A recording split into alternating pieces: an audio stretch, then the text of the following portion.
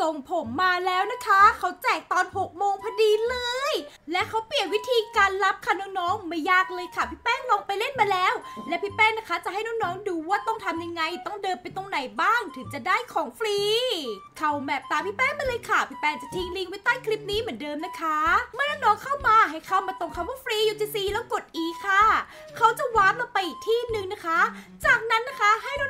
เดินตรงไปเรื่อยๆนะคะ น้องๆจะเห็นอีเวนต์ฟรี UGC นะคะ น้องๆ แล้วจะเห็นวงกลมสีส้มให้น้องๆเดินเข้าไป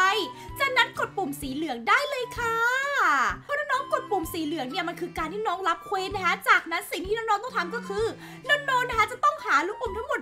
85 อันนะคะ ในประตูบ้าน ซึ่งประตูบ้านเนี่ยมันจะมีเวลานับถอยหลังอยู่นะคะ หากเวลานับถอยหลังเนี่ยมันเหลือแบบเออหมดเวลาแล้วให้น้องกด E นะคะ น้องๆ ก็จะได้ลูกอมแบบนี้มานั่นเอง ก็ทำไปเรื่อยจนกว่าจะได้ลูกอมทั้งหมด 85 อันนั่นเองค่ะ รีบมาทำตั้งแต่ตอนนี้เลย